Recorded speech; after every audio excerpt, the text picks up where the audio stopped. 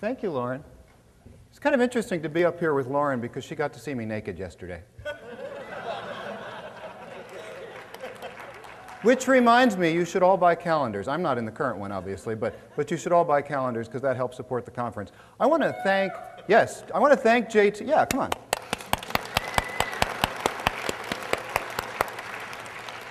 I want to thank JT and the conference organizers for putting this together. This is kind of a new experience for me. I do a lot of speaking on gay rights issues, and I go to all different kinds of places, and I often find myself in settings where I'm surrounded by religious people.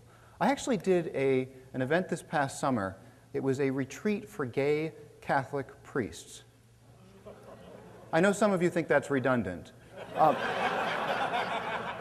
it was actually a really wonderful experience, and I can talk to you about that later. But I'm often requested to come speak in front of Catholic audiences, and about a month ago, I was invited to the University of Dayton, which is a Catholic school in Ohio, and I think I saw some people with Dayton t-shirts on over here. Yes. Okay, so I was at the University of Dayton, and true story, I, I arrive in Dayton, and within 10 minutes, the Weather Service declares a tornado watch. And my friends think this is hilarious because I'm speaking at a Catholic school. And they start sending me texts. God knows you're coming. and what was really funny was this was not the first time that this had happened to me.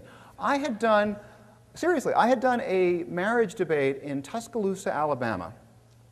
And I checked into my room and the room phone rings in the hotel. And I think this is weird because people usually call me on my cell phone. And I answer the phone and they say, uh, Mr. Corvino, this is the front desk. The tornado sirens are going off. We suggest you either get in the bathtub or get in the closet.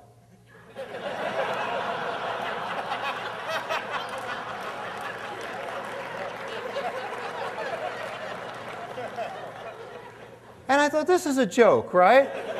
And they're like, no, the tornado sirens are going off. So I got in the bathtub. Um,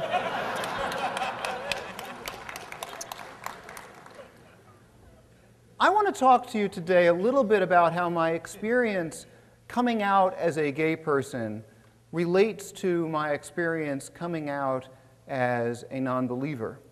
And in order to do that, I need to share with you a little bit of personal history. So part of this talk is going to be a little bit personal, partly because I think telling our stories is something very important that we do not just for other people in terms of putting a face on the issue, but also for one another. And so part of what I want to share with you is that I was not always a religious skeptic. In fact, at one time in my life, I was a candidate for the Catholic priesthood. That is not a Halloween costume. In 1988, at the age of 19, I was accepted into the Capuchin Franciscans, a Catholic religious order, and I planned on becoming a priest. This picture was taken in 1989, and one of the interesting things about this is I was here serving at the Mass of a family friend. And this was at the Mass of a wedding of a family friend. This was a wedding uh, for some people that we knew. And I was really nothing more there than a glorified altar boy. But I had on more lace than the bride. Which is perhaps why it was not surprising when later that year, just a few months after this picture was taken, I came out of the closet as a gay man. And the general reaction to that was, duh. It's like, John, you would serve Mass, you would dress like Cardinal Richelieu. What were we supposed to think? Um, so, yes, nice hair, too, by the way. Um, so, I, in 1989, I was accepted into the order. For the first time in my life, uh, first of all, for the first time in my life, I was being confronted with questions about sexuality because I was about to vow myself to a life of celibacy, and this is something they want you to think about before you vow yourself to a life of celibacy. This is a good thing. Also, for the first time in my life, I was surrounded by other gay men, including openly gay men in the seminary, people that I knew within the order who would discuss very candidly and frankly their experience uh, as gay people. And this was very, very frightening for me because I realized that this thing that I had denied for a while, that I was trying to push in the background, that I wasn't confronting, that I would have to confront. And I was supposed to move in with the Franciscans later that summer, and I had a lot of guys within the order say, John, you know, take some time on the outside. Uh, you, know, this, you do not need to make this decision. You've, you've got time. You should, you should consider other options. You should date. You should do all these things. And that's what I did, and I left the order. And then I thought, okay, I'm going to a Catholic college with a philosophy major. What the hell am I going to do? Uh, so I decided to major in philosophy and become a philosophy professor. And I continued to think a great deal about religious issues while I was doing this. It's funny, when I eventually gave up my religious belief in the mid 90s, I had a lot of people say to me, that must have been really, really strange for you because you used to take religion so seriously. And I would always say to them, Yes, I still take it seriously. That's why I'm an atheist.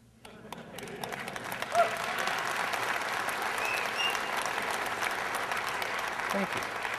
I wasn't one of these people who was comfortable, comfortable just going through the motions, just showing up for Mass because that's what the people in my family did. For me, it was really important to think about these things carefully.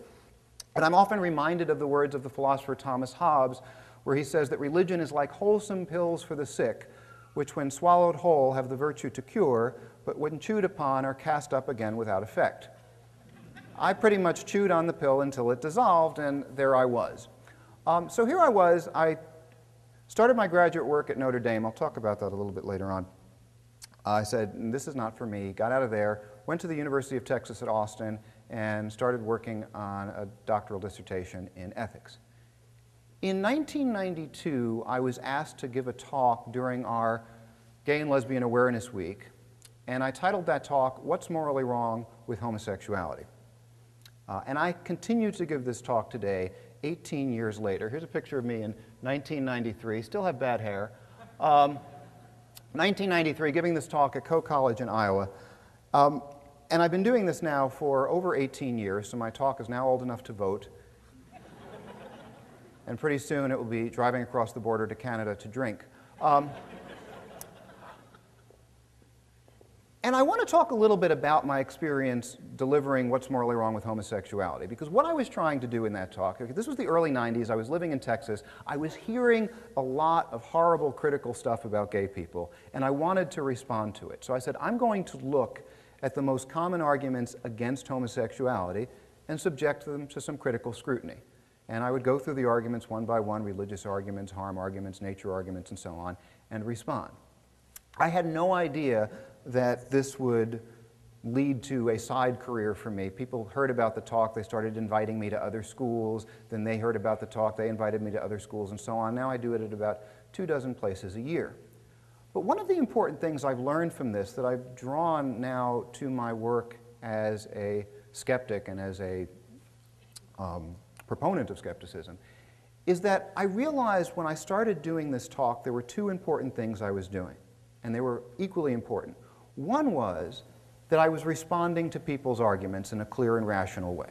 And we, as skeptics, and however you identify as a skeptic, we do this, right? We look at the arguments, we respond to them.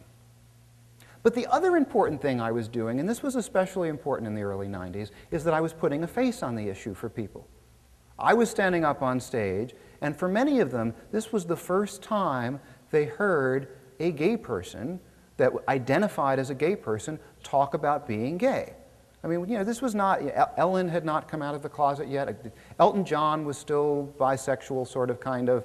Um, not that there aren't bisexuals, not that I don't believe in bisexuality, but for some people, it's a sort of way of kind of testing the waters. I'm not quite ready to say I'm gay, and that was true for Elton John. So we did not have the kind of visibility as gay people that we do today. And so for many people, just having a gay person up there speaking was a big deal. And I think that where we were in 1992 on the gay issue, in many ways we are today on the skepticism and atheism issue. That for some people, just being able to talk to a non believer and have them answer questions and, and realize that we don't have flames coming out of our mouths or something like that is a big deal for people and is an important part of what we do. In addition to doing the talks, I also started to do. Um, uh, one other thing I want to say about this I, I, would go to very different parts of the country. I said I started out in Texas and I, I, went to Iowa and I did a lot of talks in the South. In fact, I still do a lot of talks in the South. Um, I also would do talks in the part of the rural Midwest. And I have to say, the rural Midwest is a lot scarier than the South, as far as I'm concerned. Because with the South, there's a kind of veneer of politeness on the bigotry, right? So, You're going to hell. Now have some tea. when I would go to rural Michigan, other parts of the, it was not the same veneer of politeness. It, it came right at you, right? So I would continue to do this, continue to sort of be an evangelist, if you will, for, for gay issues. I don't want to take anything away from Sam Singleton here, but, but you, you could, you, using that term. Um, and I also started doing debates on same-sex marriage more recently, about 2004 or so, started doing these. And I often end up doing them with Glenn Stanton from Focus on the Family. In fact, I've done that here with Glenn Stanton, and there was, there's actually a clip from us that was on the Christian Broadcasting Network that was filmed uh, at Missouri State. Here I am with Glenn Stanton. This is in um, uh, Westminster, at Westminster College in Fulton, Missouri, so not too terribly far from here. And I remember when I got this picture, Glenn said, I ought to caption this picture, God, save me from your followers. because it was one of these rare moments where I was really losing my cool with him, and I don't often do that. We actually have a pretty friendly relationship. I know we look like a charming gay couple, don't we? Um,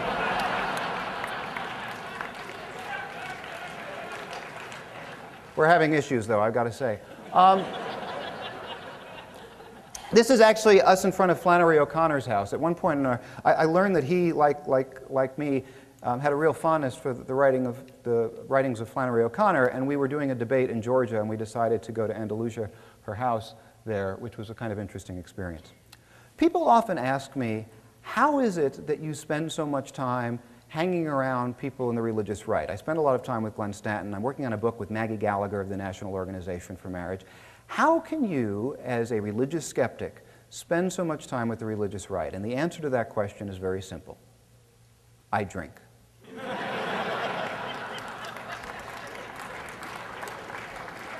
Now, the answer to that question, actually, to give you a serious answer to that question, a big part of it for me is the understanding that we have to live in the world with these people. We have to share the world with these people. Um, they're not going to go away as much as some days we wish they would go away. So I want to make a little bit of effort to try to understand where they're coming from, what makes them tick. And some of them are actually, generally speaking, decent people to be around, decent people to live around. And I've developed a reputation within the gay community as a kind of conciliator, which often gets me a lot of criticism. You know, people think of me, I've even been called a kind of Uncle Tom for my willingness to work with the other side. And there will be a panel later today on confrontation versus accommodation, which I'm participating in, which I'm looking forward to. But part of what I'm trying to do there is to recognize look, there are places where we will not find common ground. Either one side or the other has to give up fundamental beliefs. We're not going to agree here. But there are places where we can make progress. And let me give you an example. Recently, there have been these horrible reports of gay teen suicides as a result of bullying and harassment. And I've had a number of people within the evangelical community write to me and say, John, look, we really want to help with this because we think this is terrible. We think every child is a child of God, worthy of dignity and respect. We think it's terrible that these kids are being harassed. But we can't give up our fundamental beliefs that homosexuality is wrong what can we do? do is, it, is there no place where we can assist you? And I say, Well, you could shut up. Um, no, I didn't say that. I said, Look, yes, there are things you can do consistent with your beliefs. You can turn up the volume on the love your neighbor message and turn down the volume on the God's plan for marriage message. That would have two very important effects. One, it would be more consistent with this gospel that you're very fond of. And two, it would actually help the cause of gay teens not feeling so marginalized, not feeling so horrible. And so it's that kind of work, saying, look, I want them to change their views, but they're not going to all change their views, and they're certainly not going to do it overnight. In the meantime, can we make a little bit of progress?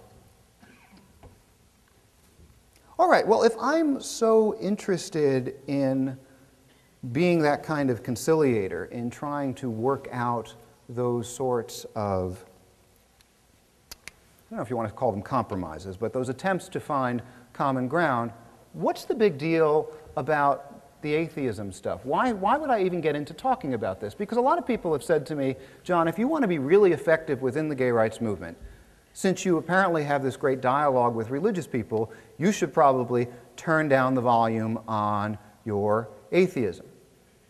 And I've said to them, well, I'm not sure I can do that.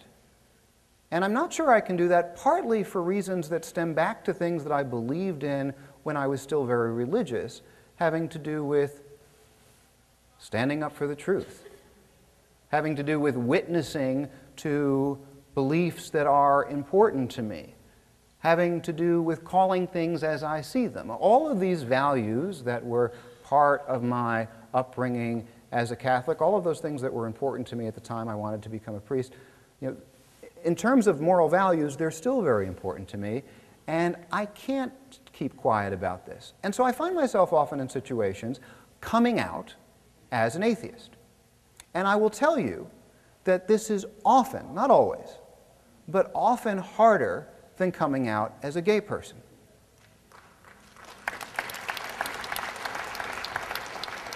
When I say that in front of gay people, they get really mad at me. They say, you know, people don't get like beaten to death for being atheists. Yes, they do. you know, people don't get kicked out of the house. Oh, yes, they do. All right, so don't, I mean, I'm not playing the game of, you know, my suffering's worse than your suffering. That's not what I'm saying. I'm saying in terms of my own personal experience, John Corvino, I often get more dirty looks when I talk about being an atheist than when I talk about being a gay person. And what's more, I often get those dirty looks when speaking in front of gay people. Another minority which ought to have a little bit more sensitivity about this. And I'll tell you a story.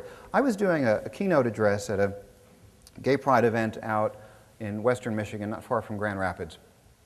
And there was a, a dinner reception afterwards, and this person came up to me and she said, Oh, Dr. Corvino, I'm this great fan of your work. I love your column. I read it all the time. And at one point, the discussion turned to religion. I forget why.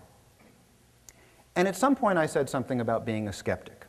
Because I try to make it a point now, if people don't seem to know this about me, to, to bring it up because I think it's important to witness to that. And she said, skeptic as in, I said, skeptic as in I don't believe in God.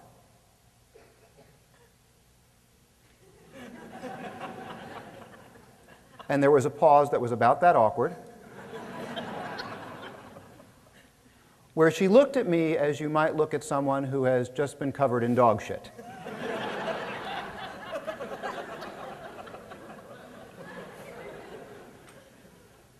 and then she composed herself and she said, Well, I guess I still like your columns.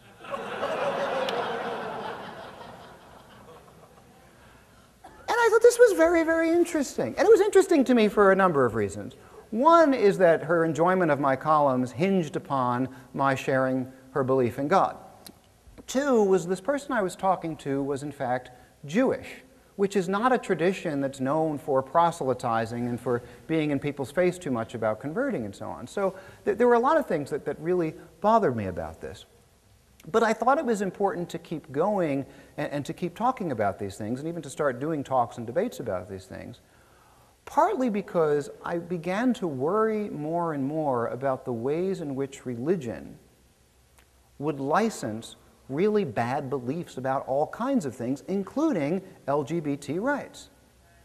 The problem is, is that once you open the door and say, well, you know, it's okay for you to believe this stuff as long as it's so deep in your heart and so on. And it doesn't matter, yes, there's a leap of faith, but it doesn't matter what kind of evidence you have for it because it means something to you, and that's great for you.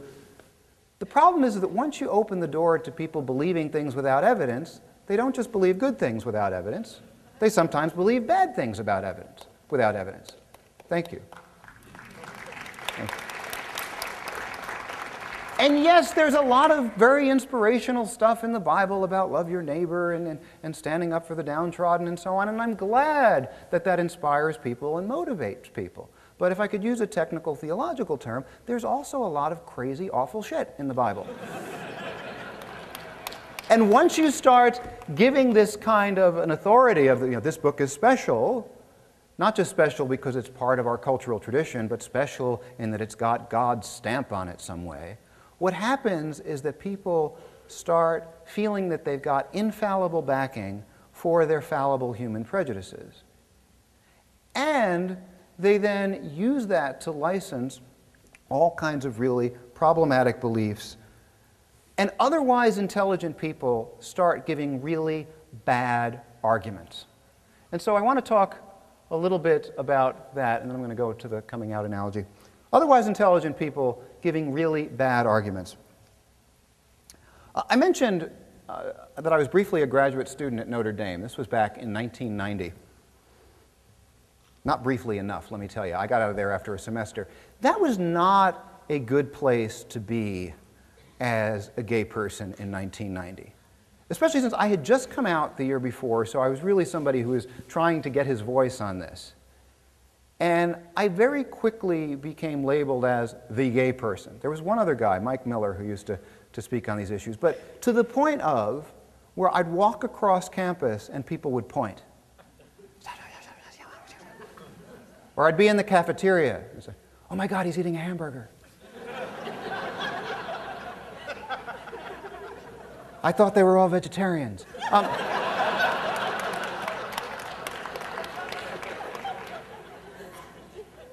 And people would stop me sometimes and say, You're Mike Miller, aren't you? It's like, No, I'm the other homosexual on campus.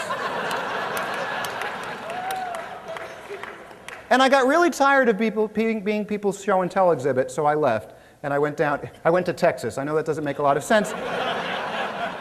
but I went to Austin, Texas, and Austin, Texas in 1991 was a pretty cool place to be. Um, so I would um, go around at Notre Dame, and we were trying to get a gay and lesbian group going on campus. And we were told we could not have that group on campus because that would conflict with Catholic teaching.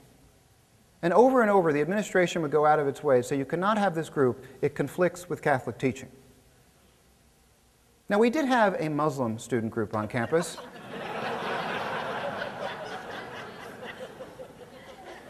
and a Jewish student group on campus. Muslims and Jews both deny the divinity of Christ, which, when I went to Catholic school, was a very important part of Catholic teaching. It wasn't just optional. But this was an example of how people would be dramatically inconsistent in, otherwise intelligent people would be dramatically inconsistent. And then when you started talking to them about religious freedom and say, well, wait a second, I thought we believed in freedom of religion and, and so on, and what about a, a diverse campus and so on, then they would start pulling out natural law. And this is something I talk a lot about in What's Morally Wrong with Homosexuality. Um, this claim that homosexuality is unnatural, how many of you have heard this before? Yeah, all of you. Okay. So, what does it mean and why does it matter? And the why does it matter part is the part that people often miss, right? Because think about all of the unnatural things that you've done today. No, I'm serious. You woke up this morning. Did you wait for a rooster to crow? No, you probably set an alarm clock. Alarm clocks, not natural. You came here to Springfield. Some of you walked, many of you drove in cars, not natural. We're in a building, not natural. You're listening to me on a microphone, not natural. We're being air conditioned by these weird vintage radio looking. I. what the hell are those? They're cool, but they're not natural. Think about all of the ways that we as human beings alter nature. But when people say homosexuality is unnatural, that's supposed to stop the conversation somehow. So, a big part of what I would try to do is to say, okay, what do we mean by this? Why does it matter? In my usual talk, I go through a bunch of different meanings. I just want to share a few favorites with you before I then draw this back to the atheism stuff. So the people who tell me it's not natural because animals don't do that. Two things. First, since when did animals start providing us with our moral standards?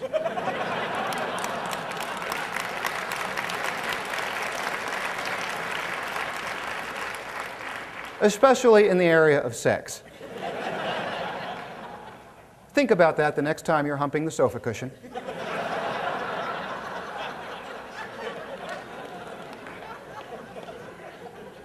Animals don't provide us with our moral standards, and if they did, of course, homosexuality would not be a problem because not only do animals engage in homosexual behavior, some actually form same sex pair bonds. And people are always sending me links to studies about this.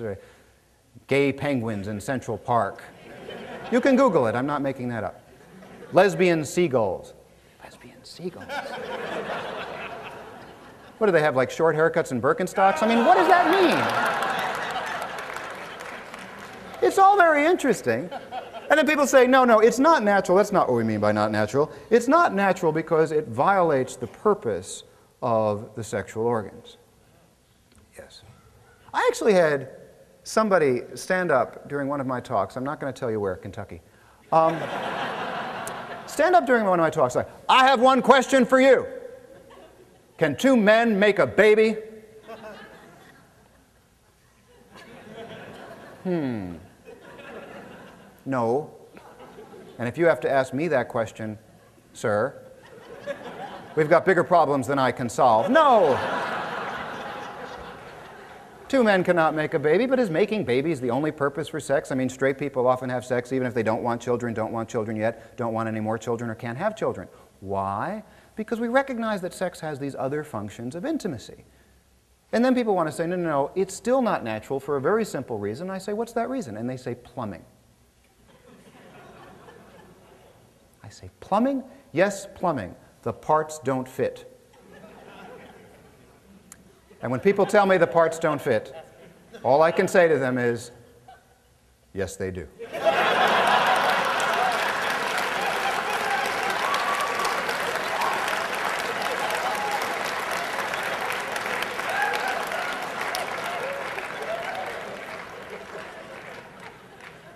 How do I know? Well,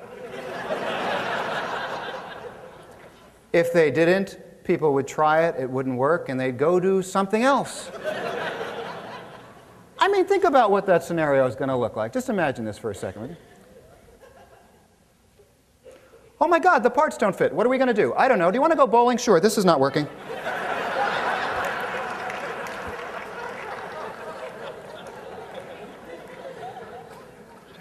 I would actually have people during the Q&A portion of some of my programs say, well, of course it's wrong because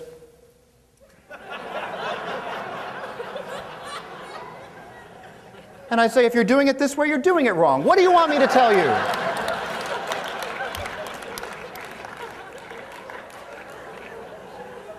I began to understand why these people are always so obsessed with male homosexuality. I mean, what does lesbianism look like to these people? It's like,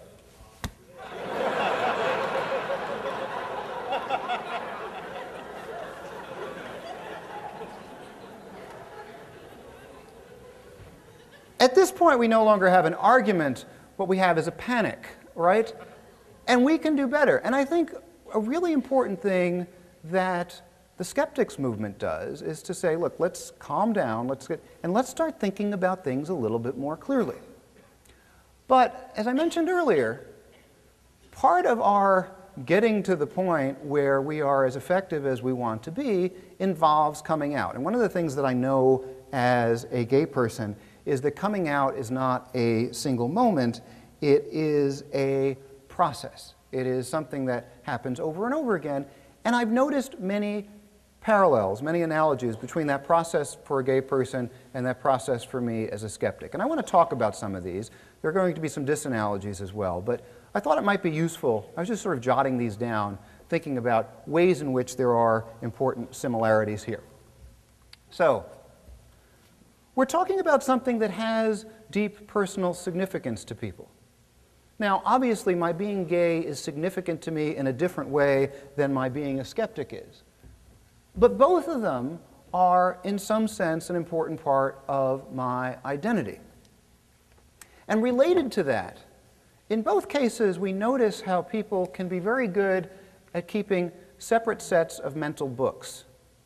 Do you know what I mean by this? When I was, a, when I was in high school, back when I wore the lacy getup for real, not for Halloween, um, this is what I would say to my priest confessors when I, I am basically straight, but I have gay feelings. I didn't have any straight feelings. And I was a reasonably smart person, and a person with gay feelings but no straight feelings is gay. But by not letting the ideas touch, I didn't have to draw the relevant conclusion in my mind. And I think we do that a lot in religion. And I think for those of us who came, went through the process of coming out as skeptical, we had the ingredients we needed to make the argument to say, you know what, this doesn't add up. But we don't let the ideas touch because that's going to get kind of awkward, that's going to get kind of uncomfortable. And that leads me to the third analogy, which is the possible bad reaction that we're going to receive. And particularly when you're young, that bad reaction can include being cut off from your own family, the people whose support and confidence you depend upon in the world most at that stage in your life. And this is very difficult. And I heard stories yesterday of people who have been you know, estranged from their families as a result of their skepticism. And this is one of the ways in which the skeptical community and the LGBT community have something in common and that makes us different from certain racial and ethnic and religious minorities. Think about this. You know, Jewish children tend to be born to Jewish parents. Black children tend to be born to black parents, right? People are not generally kicked out of the house because their parents figured out that they're black, right? any kind of parents can have gay kids, and any kind of parents can have kids who grow up skeptical. And thus, we can't count on our parents for the kind of wisdom and experience and support that certain other communities at least have built in. Now, there are other things that make the situation worse for them. I'm not doing the comparison of whose suffering is worse. I'm simply saying that there are analogies and disanalogies here to learn from. As a result of coming out as a skeptic, like uh, coming out as a gay person, in some people's eyes, you will be marked as permanently flawed in some way. There is something, this is the reaction I got, the person looking at me like I was covered with dog shit. There's something about that that just, I'll never look at you in quite the same way again. And this is something that we have to confront and deal with. I think in both cases we have a need for community, a need for people to turn to to, for support. I think the LGBT movement has a longer history of doing this than the skeptical movement, and I think the skeptical movement really needs to catch up on this, and I think this is a very good start. So awesome on that, because I think that events like this start to provide that kind of community that's very important, especially for people who are really struggling with these kinds of changes in identity. I think in both cases you have to be prepared for what we think of as dumb questions. Now, it's true, there are no stupid questions, just stupid people who ask questions. no, I don't mean that. Look, anytime, well, maybe I do mean it, but anytime, any, no, seriously, anytime that somebody sincerely is trying to wrap their mind around something, making an effort, they want to understand, I say, Great, I want to help you understand. All right. I don't get very many dumb questions, quote unquote dumb questions about gay stuff anymore. Occasionally I do. But back in the early 90s, you better believe I was getting a lot of those questions. I mean, people would say, So, as a gay man, what role do you play? what role do I play? I'm Faye Dunaway in Mommie Dearest. What do you mean? No wire hangers ever. Um, and I, you know, okay, and I think we don't get that so much as gay people, but I do get it as a non believer. So I had somebody say to me not long ago, You're an atheist. That means you hate God, right? and at that point, I want to say, You're a moron. No, but I don't say that. No, it doesn't. Why would I hate God if I don't believe in God? That doesn't make any sense. But a person making an effort to understand, okay, I'm going to make an effort too. I think we need to be prepared to do a lot of work to demolish myths about uh, who we are and what we believe. Because there are a lot of these myths out there, there are a lot of um, really bizarre and foolish views, and we have an opportunity now to dismantle some of those. I think sometimes in the coming out process, we do what we gay people would refer to, back in the old days anyway, I don't know if anybody uses this term anymore, dropping hairpins or dropping bobby pins, which is you're not sure whether you should come out to somebody, so you give a kind of little hint. You drop a bobby pin. Um, and the idea is like, hey, how about that movie Brokeback Mountain? That was kind of cool, wasn't it?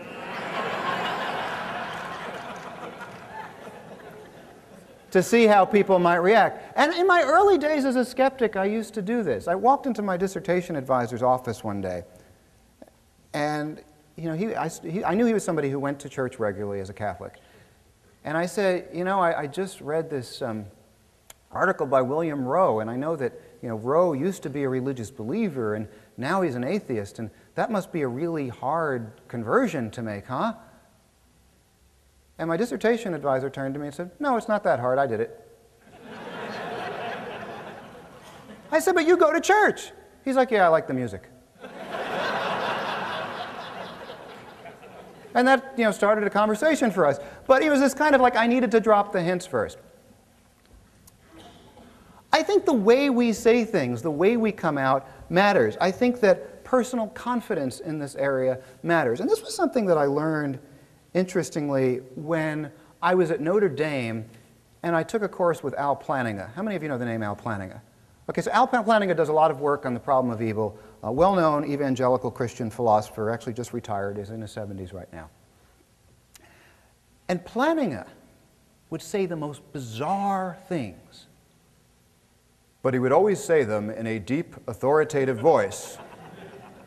And so everyone took him seriously. And, and really, I mean, I, would be at these talks, and someone would ask this question. It was just sort of devastating. So, so Plantinga, you believe that the explanation for natural evil in the world, like earthquakes and so on, is demons and, and angels? I mean, do you really believe that? You know, isn't that a crazy view? I don't think it's a crazy view. Why would anyone think that? My friends don't think that. And you know, the way he would just answer with such confidence, they were like, oh, I guess so. I guess maybe it's not a crazy view. Yes, it is. but the confidence he would express really made a difference. I know that in my early days as a person coming out as a gay person, I would shake, literally shake, when I would tell people that I was gay. And anytime anyone could actually talk about that without wavering, without shaking, it made a whole lot of difference to me. And I remember, you know, after I had left the Catholic Church and was living in Texas and still felt some kind of need for community, I started going to a Unitarian Universalist church for a while. And I remember at this Unitarian Universalist church, there was the point where they would give the church announcements, like every church does.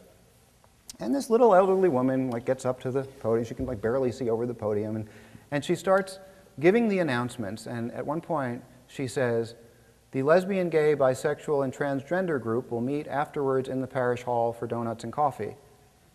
And she didn't trip over any of those words.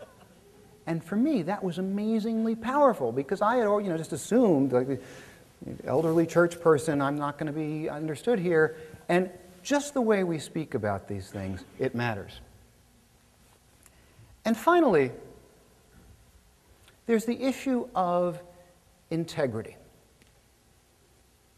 I said to you earlier um, that I, I do these talks and debates, and that part of what I used to do in the talks as a gay person was to give people an example of what a gay person looked like.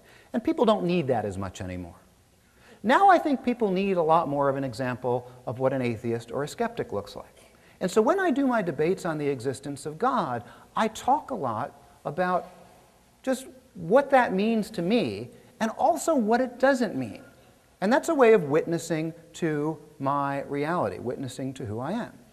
So I say, you know, I'm an atheist. It doesn't mean that I never believed in God.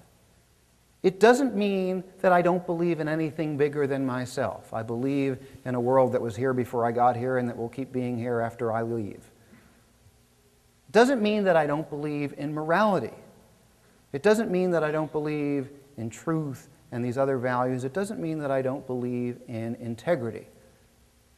And this is really important because I think, going back to what we were talking about a moment ago about myths, is that one of the myths is that, well, once a person is an atheist, all this other stuff, you know, they don't believe in morality, they don't believe in justice, they don't believe in integrity. And yet, I think for many of us, the very reason we're here and the very reason we're doing the work that we do in the skeptics movement is precisely because of our moral values. It's precisely because we want to express what is important to us as a matter of integrity. And I have had people in the gay rights movement say to me, John, I understand that this is important to you, but don't you think that you could just maybe not talk about it so much because it could hurt the gay rights movement, it could hurt the bridge building work you've done? And I want to admit something to you. It could. There are costs there. There's no doubt that there are potential costs. I may lose certain readers who will no longer read my column. I may lose my effectiveness with certain members of the religious community but I cannot remain silent. I cannot remain silent. Thank you.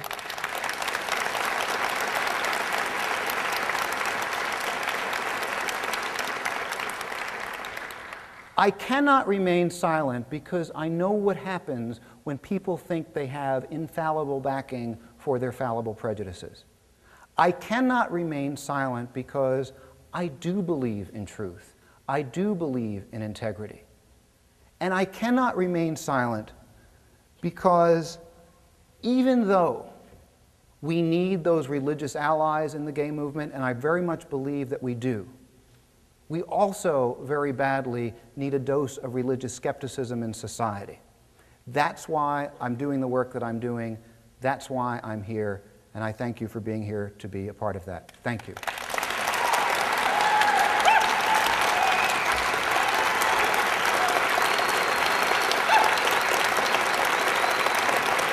Thank you.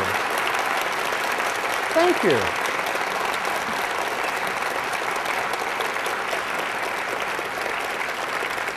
Thank. I think I actually have time for questions, do I? Uh, oh my God. You know, it, it, oh my God, he said. Um,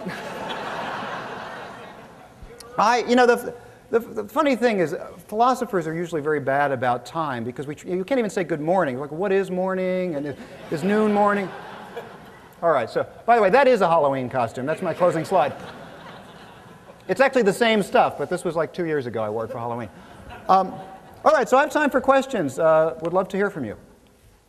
The same thing, just come on down and line up. And if we could please keep the questions short, don't hog the mic. No one likes a mic hog. Don't be that guy. All right. All right. Um, well, uh, one thing that I wanted to ask you is, um, like, my mother, she uh, she said she took a class, like a psychology class, and um, she has she used to be kind of anti-gay, but now she's uh, you know decided that you know homosexuality is you know fine to some extent that relationships should be approved, and um, you know she said the reason was she's seen evidence in psychology that there was you know like you know maybe some kind of a genetic component to it, or maybe it, it's not exactly like a choice to be gay. Yeah. And um, you know, I'm sure you as a philosopher know that that's kind of commits the genetic fallacy. Yeah, it commits some fallacies certainly. Um, so you want me to talk about that briefly? Uh, well, yeah. Or, sure. Sure. Oh, sure. No, look. I don't know what to do with bad arguments for good conclusions. So some people want to support gay and lesbian rights because they think it's genetically hardwired. I don't think it makes any difference one way or the other whether it's genetically hardwired. I don't think that's how we judge the moral status of an action. so every time somebody starts talking about that, I start pointing out to them, well, it shouldn't make one difference one way or the other, but it's one of those things that I'm not going to spend a whole lot of time on because if it makes some people like your mother more likely to support our rights, I've got other things I could do than, than fight bad arguments for good conclusions. So. Well, th- a wonderful uh, uh, lecture. I loved it. Um, like you, I've had to come out twice in life first as a gay man and second as an atheist. And one of my pet projects that I've been doing for a long time is trying to find a non religious source of homophobia. And I have not found it yet. Do you have any comments? Um, yeah, there's not much. I mean, a lot of homophobia, particularly in this country, comes from religious sources. There are philosophers, like Michael Levin, for example, uh, has an argument against homosexuality not based on religious sources. And it's not like Robert George or John Finnis who claim that they've got an argument not based on religious sources, but really in the background religion is operating. In his case, I don't even think he's religious at all. So, but, but you're right, it's quite rare. It's quite rare. Uh, so you talked a lot about similarities between coming out as uh, gay, lesbian, bisexual, and uh, coming out as a non-believer. What do you think some of the differences are? Really good question. And you know, part of the why I didn't talk much about that is it was hard for me to sort of very quickly come up with one what those might be. But here was one that I came up with. For me, coming out as a religious skeptic was much more of an intellectual process. Um, that when I was in graduate school, I was really thinking about the arguments trying to solve the problem of evil. I was really thinking about the arguments for the existence of God, and I very quickly went from being a Catholic to a sort of generalized Christian to a sort of generalized theist to an agnostic to an atheist. Um, and that was very much an intellectual process. The coming out process for me as a gay person was much more visceral and emotional. There are certain things stirring within me that I'm trying very hard to ignore and can't. That's the main one. Great follow-up question from this one too. Um, judging by your canter and such, I'm assuming you're much more comfortable yourself from coming out of the closet from gay. But to borrow that same phrase from your getting the point of atheism, did you find that same transition to be true of being even more comfortable with who you came to be today? Yes, uh, every time we say out loud these things, I think it becomes easier to say them. And that's one of the reasons why I think it's important to exercise that ability of saying these things out loud. I also find myself doing things um, as a skeptic that I used to do as a gay person. I don't do as much anymore. You know, there are always those moments where you just don't want to get into it. You know, you're, you're sitting on the plane and the person next to you wants to talk to you. And they're like, oh, where are you going? Springfield. Why are you going to Springfield? For a convention. What kind of convention? Um, and you know, there are days where you want to have that conversation and days where I just don't want to get into it, right? Um, and I used to find as a gay person that a lot of the times I would just, you know, when I'm going to speak somewhere, what are you speaking on? I just say ethics. Because not that I was you know, afraid to be out as a gay person, I was out as a gay person, but I just didn't feel like getting into it right then. And more and more I say to myself, look, if there's no real cost in getting into it with this person on the plane, I mean, maybe, maybe I'll shut the person up, that'd be great. Um, you know, it's important for people to see that we're here, and I can't do that if I'm keeping quiet about it. So, yeah, I did have that process. Hi, you mentioned um, the, uh, I believe it was the young woman who was a fan of your blog. Yeah. And that when you told her that you were atheist, that you had a reaction like that. Um, I've, uh, I'm an atheist and I've attended events with the gay community and I have, uh, there's a gay bar in uh, St. Louis that I go to, a friend with a bartender there. And uh, I went to uh, several events with both gays and atheists. And I was wondering what your perception is with the reciprocal acceptance between the two groups are. Wow. Um, I'm going to try to answer that question candidly with the preface that my experience is not necessarily everybody's experience. But in my experience, the general population of gay people that I've talked to about this issue are often more uncomfortable with it, about, all more uncomfortable with the skepticism issue than skeptics are with the gay issue. And I think, yep, everyone said, yep, yep, yep. Uh, so I'm not the only person who's had this experience. And I think that part of it is just as a kind of political strategy. Gay people are saying, okay, we want to be all respectable now, and we're starting to be treated as respectable. And here you get up, John, and you put your suit on, you got your hair combed nicely, and so on, and they're going to look at you as respectable. And then you mention that you're a heathen. Um,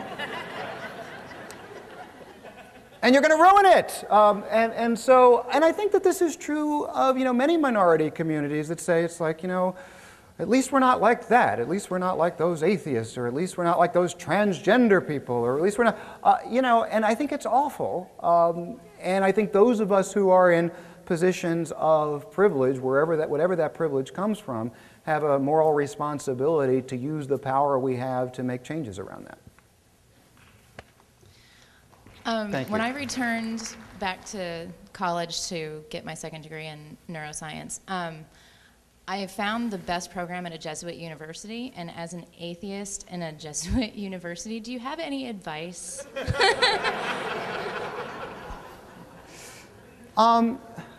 Yeah, the first thing I want to say to you is go for it. You know, um, look, one of the things I, I've made clear to many audiences, and I'll say this to you today I did not leave the Catholic Church because of a bad experience with the Catholic Church. I understand that people do have bad experiences with the Catholic Church. There are things about the Roman Catholic hierarchy that I find appalling. But my experience of, I went to St. John's University as an undergraduate, I started my graduate work at Notre Dame. My experience, and my experience in the order and my experiences more recently, have often been very positive. Um, why is that? Well, partly it's because there's the church and there's the church, right? There's the hierarchy, and then there are the people on the ground. But partly for me, with Catholicism, it's also because I thought the Catholic Church was one of these traditions that tended to take the big questions seriously, that had this intellectual tradition and thought, yes, that, there, that reason and science have a role in all this. And for me as a philosopher, there was something very valuable about that. And partly for that reason, when I go to Catholic campuses or I'm in these kinds of environments, I often feel very much at home because my tendencies as a philosopher seem to fit well with that, even though I reach different conclusions than they do. So I, I say go for it at, at a Jesuit university and find like minded people who can be your allies. Um, uh, I've heard the argument before that in part of your, spe- uh, your speech you used the phrase coming out, and I've heard that phrase is uh, homophobic in itself uh, because it, it looks at the community as uh, gay community as something different and not looking at them as part of society and unequal.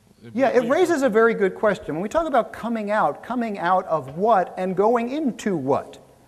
It does set up this notion that there are boundaries and walls. But let me tell you, it's a metaphor, and like all metaphors, it's imperfect, but it's a metaphor that felt very apt for me, partly because I very much was building walls around myself as a gay person to keep enemies out, but also keeping my friends out, because there were parts of me that I didn't want anyone to see. And so coming out of that, it very much did feel like a coming out. And of course, now I pose for nude calendars, and I'm hanging all out there just as God made me. Um, it was really funny because I thought I would like prepare for this, like you know, go on some kind of great like exercise regimen or something for two months. And I didn't. Um, so like two days before, I just like stopped eating. And I went out to dinner with some friends, and they're like, Why aren't you eating? I said, I'm fasting. And they said, Why are you fasting? And I said, For the poor souls in purgatory. I just want to say that you looked fantastic. Yes. And he was only wearing a hat. I'll let you just imagine where the hat was. I wanted to touch on, you mentioned that you, in, in the past you have um, gone off, as you put it, um, with uh, arguments with Glenn as far as focus from the family. And as an atheist, arguing with someone about religious issues, as far as like, does God exist, I find it much easier to be calm and rational and just Yes. go over the arguments. But whenever I go over the arguments uh, against gay marriage, for instance, or against gays in the military, I find it much, much, much harder to stay rational and level minded. And I find myself getting very angry sometimes. Yes. And I wanted to know how you approach the situation when you do get angry Yeah. with Glenn and how you avoid getting angry in the first place. Uh, I drink more. Um, no, I mean, look, part of it is the experience of being calm and rational and just doing it over and over again. Part of it is sometimes like, okay, something is pushing my buttons right now, and I need to take just a few breaths. And part of it is that sometimes I find I need to go do something else for a while. So I'm actually going to be taking a break from the debates with Glenn for a while, partly because, you know, I think we've kind of hit a wall in certain ways. Not that I'm doing this to convince him, and this is really important. When we debate the people on the other side, whether it's on the gay issue or on the skeptical issue or something, we're not doing it to convince them, although it would be nice if we convinced them of some points. We're doing it to convince the audience in the room, and the audience in the room tends to be much more convinced if we can keep a level head. So keeping that in mind helps too. Uh, can, can you discuss confronting more than one privilege at a time? Um, as in, you know, how do you have a discussion with a homophobic faith head? How do you have a discussion with a homophobic faith head? Um, you know, part of it is that I don't often put it in terms of privilege because I know that homophobic faith heads don't respond well to that language. um, you know, my tendency as a philosopher, and it's not just on these issues, it's just more generally, um, you know, there, there, there are two ways to attack a deductive argument. You either attack the premises or you attack the validity of the argument. You say the conclusion doesn't follow from the premises. And for whatever reason, I'm just more inclined to do the second. I'm more inclined when I can to say, look, let's suppose we accept these premises, your conclusion doesn't really follow. And, and I would just sort of do that bit by bit on the different issues and recognize that I'm not going to address everything all at once, and that addressing everything all at once might lose my audience, so I take it apart bit by bit. Um, when I was in high school, me and my friends fought for like an you know an atheist school group, and we fought for like a, a gay group, and um, we had asked the principal, and we just kept getting turned down, and we had said why, and he's like, it's not part of the school curriculum. We said, then why are there two Christian groups? Because that has nothing to do with the school curriculum. He said, no offense to anyone in this room, I will not allow that faggot organization in my school. Now, how, I mean, I've still got friends that are going to that high school. How would I tell them to fight that and get them to say, hey, that's not fair? I would be on the phone immediately to the ACLU. Um, or whatever local organization is going to be most effective in that. And you know, it's a terrible, awful thing, but now is an opportune time to be addressing that sort of thing because with all of the evidence we have right now of the effects of bigotry in schools and the effects of bullying in schools and what that does to people's sense of self and what that does to people's sense of whether they can even keep on living in the world, uh, it is a moral imperative that we address those sorts of things. So thank you for standing up and please do. That's exactly um, where my observations are going. I was a public school teacher for 33 years, and I had so many, many, many junior high kids come through my classroom who were questioning their sexual identity. So I applaud you for your courage, your integrity, and your compassion. But let me tell you that my entire life I've been a seeker. As such, I came to my skepticism late. During that process, though, I questioned all sorts of prejudices. I, I said, um, yeah, I can tolerate anything but intolerance and homosexuality. Well, the Harvey Milk thing converted me completely. And after that, my students found a very safe place in my classroom, and they all knew that. The, la- the, the second observation my son is 18, he's a senior this year, and the only conflict he's ever had in school was about his non belief.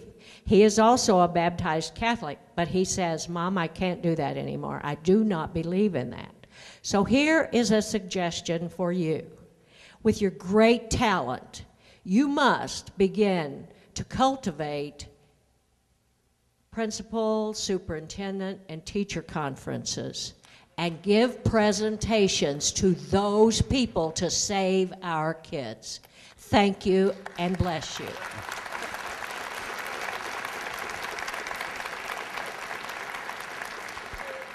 Thank you. And I do want to point out that over the 18 years, I tend almost always to speak at colleges and universities, not at high schools, um, and there are sort of obvious reasons for that. The only time I've ever spoken at a high school was St. Paul's School in New Hampshire, which is this very elite prep school. It's where John Kerry went to school. It's that kind of, you know, Oak, Oak Hallway kind of thing. Um, but I'm, I'm certainly open to speaking at those places. And you know, since I can't be everywhere, I would encourage you, if you want to, pick up a copy of the DVD and give it to your local school board. Um, I would encourage you to do that. They also make great gifts for Christmas or the Feast of the Unconquered Sun or whatever you celebrate. Um, but, but in all seriousness, um, yeah, I would like to be more of a resource for high schools and so on because for a long time, below college level, people were just too nervous on this issue, and I think maybe now the time is ripe to, to do that. So thanks for your encouragement. Last question. Um, I was just, uh, until just recently, living in uh, Columbia, Missouri, which is a very nice town, but um, that's not important. Um, anyway, uh, as you were, you were talking, I, I, okay. anyway, uh, you were talking about, um, you know, going through the process of coming out twice, and I, I did that actually three times, but that's not important, in uh, Columbia, um, and uh, anyway, just recently, the, the important part is just recently, um, I moved back to the area to uh, take a job in Branson, and uh, since coming back there, I have encountered the extremely, the, uh, the extremely, the, the extremely conservative Christian culture, um, especially amongst my colleagues, and have uh, sort of found myself uh, retreating back in. And so I was wondering if you had any uh, suggestions. Could you repeat the question? no. Ah. Um, no, my suggestion is, to be a very quick, simple answer, to find allies and to remember that allies need allies too. I mean, that we, that we need to prop ourselves up. And sometimes that's a slow process. And it can be discouraging if you're used to being in a place where you're more open and you're more comfortable and you retreat to a place where this issue is not as open. But you know what? That, that more difficult place is also the place where our voices are needed that much more. So it's good that you're there. Thank you all so much. You're all terrific. Thank you.